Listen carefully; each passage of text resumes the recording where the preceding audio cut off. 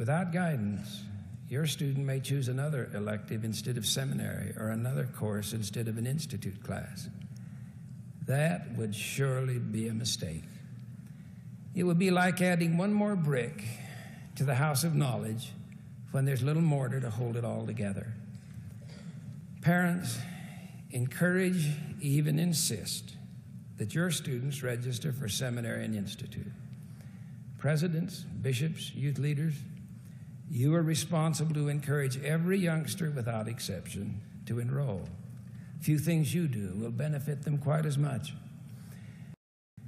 The temptation your children will find will not come at home or in the seminary class. It will come later when they're away from both the teacher, the parent. One day, you must set them free. When that day comes, how free will they be? How safe?